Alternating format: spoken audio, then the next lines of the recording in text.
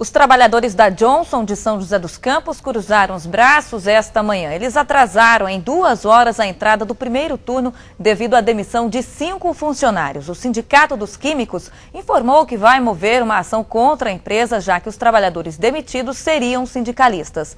Uma nova paralisação deve acontecer na entrada do terceiro turno. Em nota, a Johnson informou que desligou os cinco funcionários por desempenho insatisfatório e que a decisão é legal e está amparada pela Justiça. Justiça.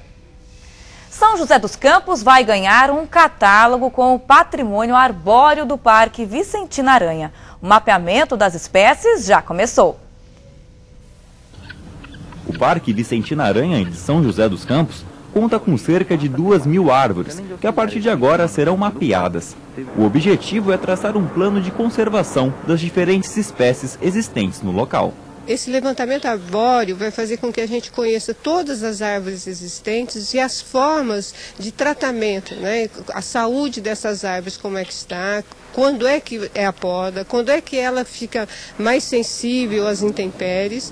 E todo esse processo faz parte do início de um, de um processo de restauração do parque. O trabalho será realizado durante os próximos três meses por uma equipe de engenheiros florestais que contam com o auxílio de um GPS para a localização precisa das espécies.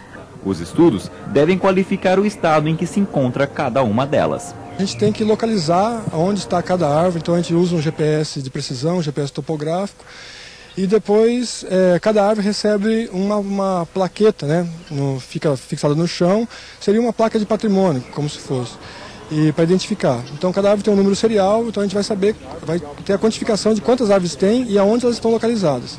Os dados coletados com esse trabalho darão origem a um mapa temático, que além de auxiliar a própria equipe de manutenção do parque, servirá para os visitantes, que irão conhecer mais sobre cada espécie e suas características.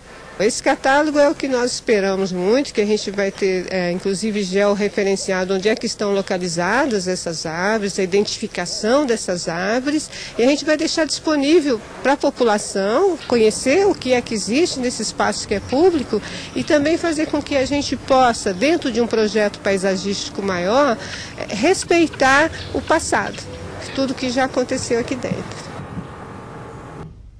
Confira agora o que diz a previsão do tempo para hoje em toda a região. Os detalhes com a Somar Meteorologia.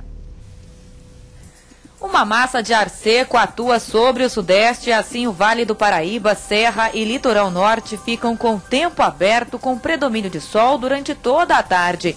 Pode chover no fim do período devido ao calor. As temperaturas ficam em elevação. As máximas chegam aos 25 graus em Campos do Jordão, 29 graus em Caraguatatuba, 31 graus em Taubaté e 32 graus em Lorena.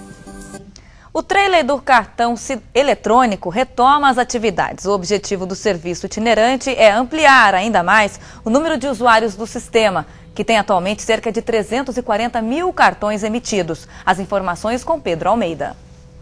O serviço é oferecido desde janeiro desse ano e até agora já emitiu mais de mil cartões, que facilitaram o acesso dos moradores ao transporte público da cidade. E esse serviço deverá ser ampliado a partir dessa semana. Ao meu lado está Ronaldo Gonçalves, diretor do Departamento de Transporte Público da cidade. Ronaldo, como é esse serviço, como ele é desenvolvido?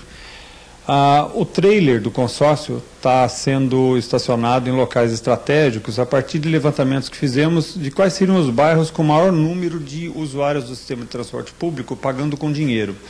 O trailer, a partir da apresentação do RG, do SIC e de um comprovante de endereço do usuário, emite na mesma hora o cartão, a emissão é gratuita e somente com o cartão o usuário pode se valer da integração, ou seja, ele utiliza um, dois ou até três ônibus no mesmo sentido de direção, no período de duas horas e entre regiões diferentes, pagando apenas uma única passagem, coisa que não é possível com dinheiro e não era possível antigamente com passo de papel.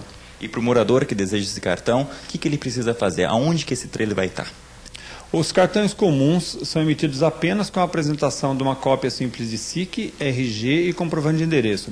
Idosos e deficientes precisam se dirigir à agência Acesso Livre, no Terminal Central, e estudantes que tenham a ficha preenchida e carimbada pela instituição de ensino podem emitir o cartão também no trailer ou dirigir-se até a agência do consórcio 123, que fica na Avenida Rui Barbosa, número 15. Esse trailer também visita os bairros. Qual é a programação para essa semana? Bom, na terça-feira o trailer estará atendendo no Jardim Galo Branco, quarta e quinta-feira no Jardim Morumbi e na sexta e no sábado no bairro 31 de março. A programação está sempre divulgada no site da Prefeitura Municipal. Qual é a expectativa de atendimento? Olha, nós temos bairros hoje em São José que apresenta já um número de pagantes em dinheiro em torno de 5 a 10% só. E nós temos bairros que ainda atendem a praticamente 40, 45% em dinheiro. Nosso objetivo é trazer o maior número possível, equacionar essa emissão de cartão para que todos se utilizem da integração e consigam uma economia real. Obrigado. Mais informações no site www.sjc.sp.gov.br. Pedro Almeida de São José dos Campos para o Band Cidade.